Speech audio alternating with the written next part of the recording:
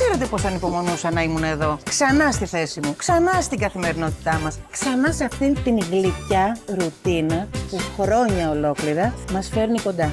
Εμάς και εσάς. Ελένη. Με την Ελένη Μενεγάκη. Καθημερινά στη μία και μισή το μεσημέρι.